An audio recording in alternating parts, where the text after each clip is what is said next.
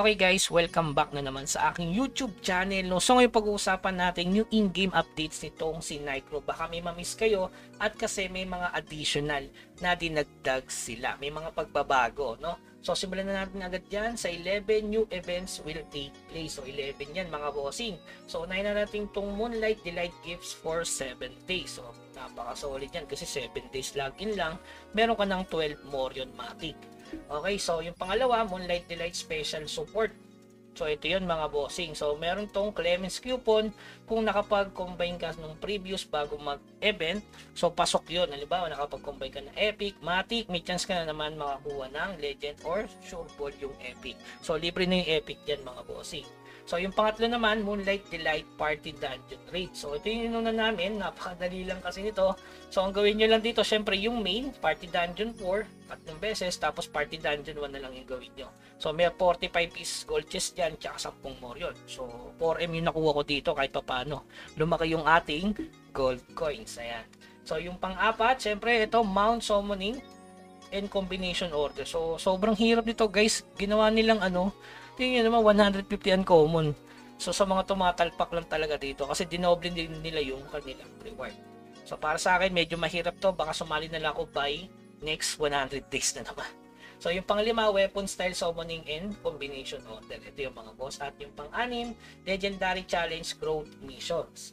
Tapos yung pang-pito, preparation for the fail, ano, for the fall festival 200% guild coins. So ibig sabihin yun mga bossing, ito tinimes to na yung mga donation. So yung check-in times 2 yan, yung donate times 2. So ayan, kita nyo naman, dati 1,000 naging 2,000. Yung pangwalo, guild order. Matik naman yan, pag nagre-refresh 100 lang, tapos 99 lang yung um, papatay mo monster at may bigay na 500 na guild coins. Napaka solid. Lalo na ngayon, kukuha ko ng sudden strike sa mga magtatanong. 490 kasi yon mga bossing. So malapit na. Yung pang siyam naman, 200 day commemoration full event dungeon. So ito yung medyo nag-bug. Yung regarding dito guys, bukas ayusin nila yan. Pero dahil hindi tayo nakapag-farm ngayon, nagbigay sila ng parang pakonsuelo. 50. So goods na yon 50 pieces na ganito.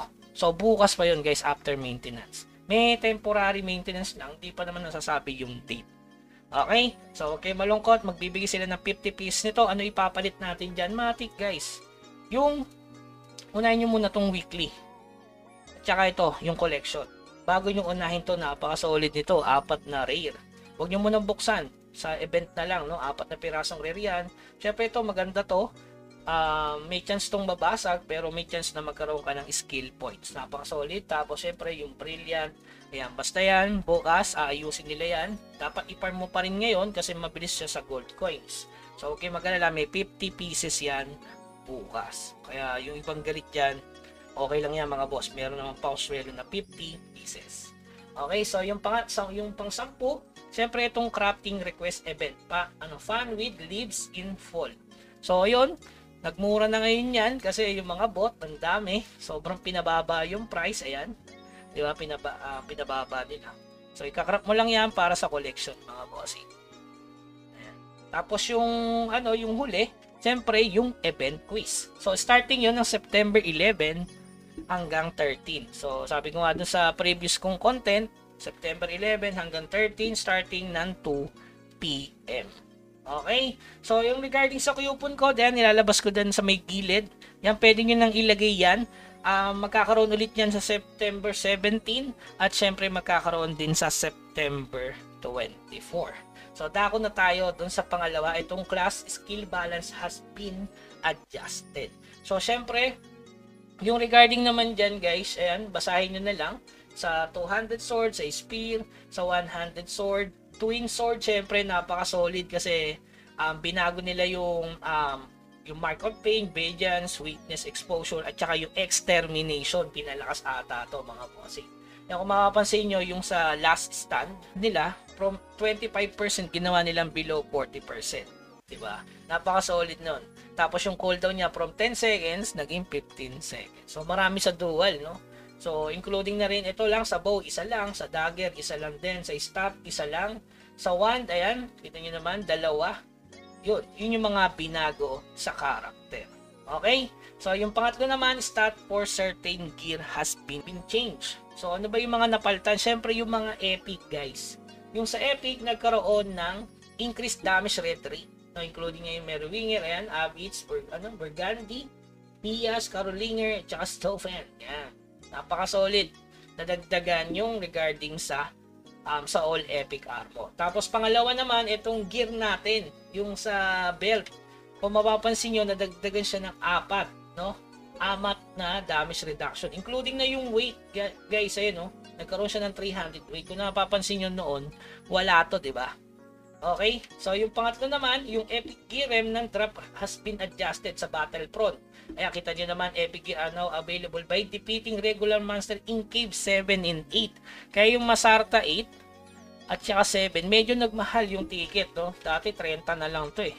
Yung sa 7, yan, 60 na siya ngayon. Tapos yung 8, ayan, 295. Wala nang ticket, guys. Kasi nga, meron na siyang drop na epic kung titingin nyo. Dati wala yan, mga bossing. So, bakit, um, baka sabihin nyo, meron namang eerie eh. Guys, sobrang kunat kasi sa eerie. Ah, sa, ito, medyo makunat dito compare dito. Tsaka yung negative nito, iba eh. Kukumpara dito, di ba?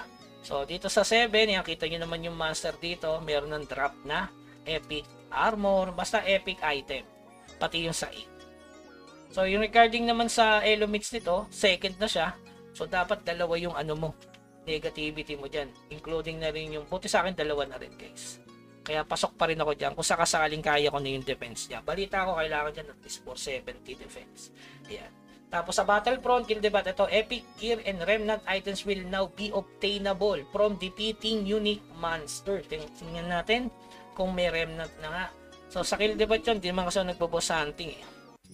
Tingnan natin yung malakas na master dito sa kill team. Ano ba master dito? Ito Night of Death. Eh malamang mo sa Night of Death meron talaga yan, di ba? Ay, unique eh. So ito mga angle. Ah, may epic na nga, no? Oo nga, may epic na. So talagang contest na, no? May remnant na din dito kay Inferno. Mati, remnant, yan. Ay, ito yung pinakamalakas. Ano yung pinakamalakas naman? Ito si Krish. So yun, may remnant na guys. So, lalong magkakagulo na dyan. Hindi ko lang sure ha. Pero sabi kasi dito, meron nang nakukuha. Obtainable na. So, yung pang-apat naman na additional, yung Crow Shop. Yan. Crow Shop, guys. Ito, napakasulit. Napakamura. Tatlong, ano lang, tatlong crow. Kaya possible na magpo 0.75 na naman mga boss. So, pwede kang bumili niyan. Pero mag, mas priority mo tong zero. So, dito ka muna. Ito, sige, sa mga tumatalpak, solid yan. So, may mga nag-comment kanina na naka-jackpot sila, naka 115 sila, naka basta marami silang nakuha mga bossing. Okay? So, yung panglima naman, refinement and spell infusion convenience improve. Ayan. So, regarding lang naman sa refinement, pang-anim, itong maximum valor coin, ito yung pinaka um, the best sa kanilang mga update. Including na to, from 100k naging 150 kasi sabi ko nga sa inyo guys, dun sa Valor Coin Shop, pagkakaroon yan ng times 3. So, papakita ko sa screen na nilabas yon sa core. Pero nilabas yon nung si second season ng World Dungeon. Sa atin siguro sa third season. Sana magkatotoo, no? Kasi sobrang solid nun. Lalo na tayo magte-third advance as free to play. So, magandang ano yun, um, sample, eh na. In-adjust na nila, magiging 300k na. Sakto yun para sa tatlong H SOA. Okay? So ito yung mga binago nila sa mga bug fixes and gameplay improvements. So natuwa lang ako dito regarding dun sa ano, sa guild notice, no. Dati kasi 100 letters lang, ngayon 300 na mga boss. Buti napansin nila yan. Tapos yung 3 fix issue daw sa sleep mode, ito siguro yung kapag nadidisi. Hindi ko lang alam guys, no. Kasi minsan, yun nga, hindi ko alam bakit ako nadidisi. Hindi naman nadidisi yung ano ko, Mir 4. Siguro hindi nakaka-atake. So sana naayos na yon no. Sa tingin ko sana yun nga yung regarding sa sleep mode. Ayan, no, deactivation screen still displaying when deactivate sleep mode. Then activate sleep mode again. So ayan, may mga binago sila doon. So additional guys, syempre yung season pass, um, yung Twilight, ayan, matik naman. So solid ba yan? Syempre solid yung summon guys, bumili na kayo. Kasi dadaan tayo sa Easter egg pa, no, yung November pa, Halloween, tapos Christmas. Mag-ipon na kayo ng summon kasi alam ko maraming ipamimigay si Nitro sa darating na Pasko. Okay? So, yun lamang guys. Ki, ano, keep grinding. Huwag kalimutang mag-subscribe sa ating channel. I-like tong ating video, syempre. At hanggang sa muli, paalam.